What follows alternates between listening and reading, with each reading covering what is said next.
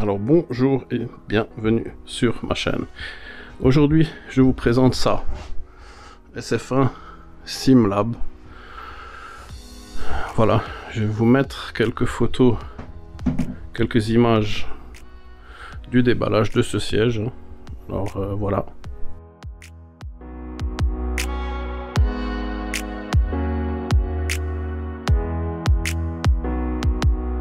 C'est un siège que je me suis acheté, voilà, de chez Simlab SF1. Et alors euh, le fabricant de ce siège, ici, il y a marqué GP Race. GP Race. Donc en fait c'est Simlab qui fait fabriquer chez GP Race ces sièges là.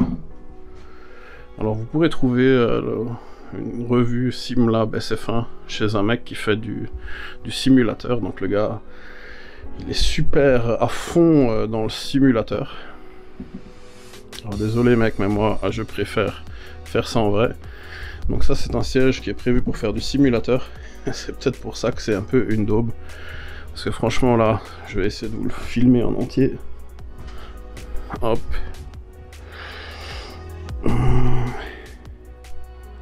Oh, j'arrive peut-être pas. Voilà. Donc ça c'est un siège de simulateur. Je vais vous le comparer à ce siège Sparco Evo 2 Plus. Voilà, Sparco Evo 2 Plus. Hein. Celui-ci a déjà une paire d'années, hein. c'est un de mes premiers sièges. Il se fait un peu vieux, hein. qu'est-ce que vous voulez? Il a été dans une ou deux de mes caisses, voilà. Sparco Evo 2 Plus. Il est déjà dépassé depuis, euh, depuis pas mal de temps. Mais quand j'y regarde à deux fois, au prix d'un Sparco, ça c'est un vrai Sparco, hein. c'est pas une copie, c'est pas des trucs chinois. Je sais pas vraiment où ils font fabriquer leur siège ces Sparco, mais en tout cas tout ce que je sais c'est que ça, euh, le siège Sparco comparé à ce siège Simlab. Alors euh, désolé pour le mec qui est un spécialiste du simulateur, je vous mettrai un lien euh, vers sa vidéo si vous voulez voir la différence.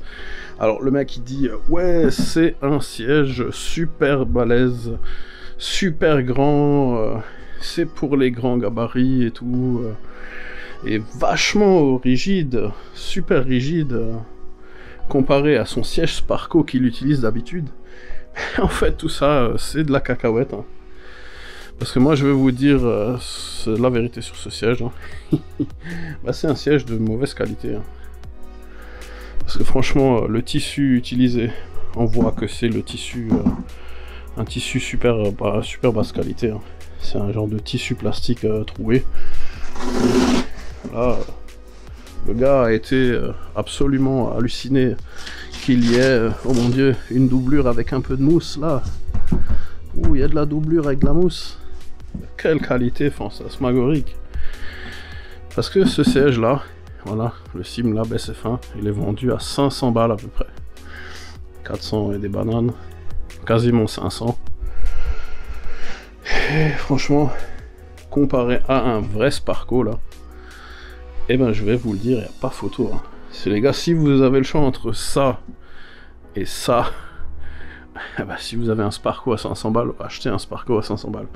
Parce que question rigidité, donc quand le gars dans sa vidéo de simulateur, il dit ouais le siège est ultra rigide, eh ben en fait euh, rien du tout.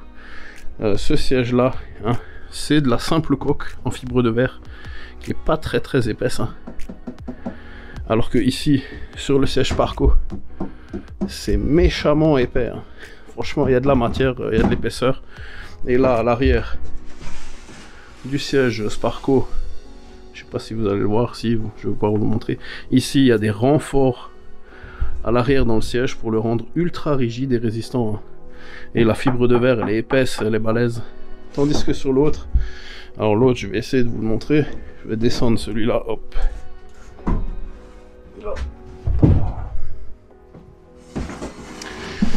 Alors pour 500 balles, hein, les glisses et les rails là de, support de siège sont même pas fournis avec ce siège. 500 balles et on vous demande encore d'acheter les rails. Sans déconner. Alors là, le siège il est en fibre de verre et euh, c'est pas très très épais. Hein. Franchement, c'est plutôt euh, léger, léger. Hein. voilà. Alors c'est... Euh, Il n'y a pas absolument aucun renfort là-dessus. C'est juste une mince, euh, une mince coque entre en fibre de verre. Et honnêtement, le siège, je sais pas si vous voyez, il est même pas droit. Il est même pas droit il est sorti du moule comme c'est une simple coque de fibre de verre. Vu que la fibre de verre, euh, c'est pas super droit. Euh, quand on n'y met pas de renfort, hein, eh ben voilà, le truc il est même pas droit, il est tellement souple qu'il store un peu de rire dans tous les sens. Alors quand je m'assieds dedans, c'est un peu mieux. Hein. En plus le gars il dit ouais c'est pour les grands gabarits. Eh ben, les grands gabarits, mes épaules, elles arrivent presque plus haut que les anneaux là. Donc quand je vais mettre un harnais au travers, le harnais va monter sur mes épaules. je suis même pas sûr d'arriver à l'utiliser comme ça. Ou alors il va falloir que je mette les harnais inclinés vers le bas légèrement. Il y a une règle FIA hein, qui, qui détermine la position des harnais dans un siège baquet. Il va falloir que je voie si j'arrive à respecter ça avec ce siège baquet. Alors, vous me direz, vous me direz, mais pourquoi j'ai pas acheté un autre Sparco parce que celui-ci, euh, donc euh, ce Sparco, alors voilà, je l'ai remis sur la table vite fait. Pourquoi j'ai pas acheté un autre Sparco Eh ben, parce que au-dessus de l'Evo 2 Plus, hein, comme je suis un peu plus costaud que quand j'étais plus jeune, alors au-dessus de l'Evo Plus, l'Evo 2 Plus, il y a l'Evo 3, et maintenant il y a l'Evo XL, XXL, mais ça, les oreilles là, ça pose un sérieux problème dans une EMX5. Un très très sérieux problème. Parce que quand on a le tube d'arceau là, côté fenêtre, euh, pour les petits gabarits, donc pour les mecs maigres qui sont ultra minces, eh ben un petit Sparco, un siège Sparco, un petit, vous arriverez à le caser dans une Mazda MX5. Hein. Il sera pas trop large ici au niveau des cuisses. Mais euh, par contre, pour avoir un siège avec beaucoup de retour là, qui match ma morphologie, hein. une morphologie de costaud, de mec de plus de 100 kilos. Eh ben, qu'est-ce que vous voulez? Il faut que je prenne un siège qui soit moins, moins, euh, qui soit moins moulant sur les côtés, moins moulant là au niveau du dos, et qui soit sans trop de retour au niveau des épaules pour qu'il rentre dans une MX5. Alors le deuxième avantage de ce siège Sim, euh, Simlab SF1 là, et ben c'est ça, net euh, différence de hauteur. Hein. Parce que là, euh, faut savoir une chose, c'est que ça risque de gêner au niveau de l'arceau. Hein.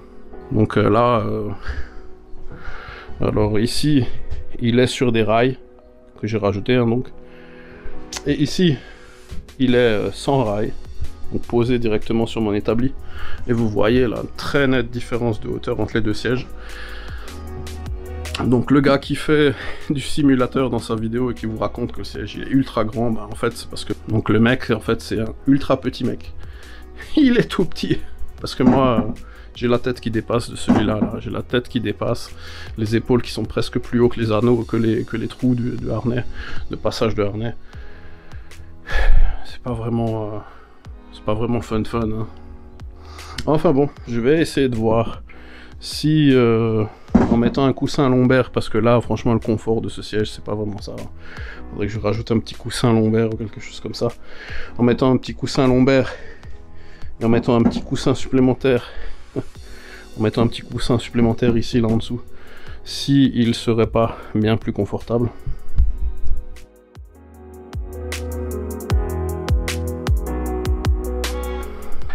Mmh. Simlab Sparko? Qui sait Simlab Sparko. oh, il y a peut-être quelque chose à faire hein, pour l'adapter à ma morphologie un petit peu mieux. Hein. Le redresser aussi peut-être un petit peu comme ça. Voilà, le redresser un petit peu comme ça.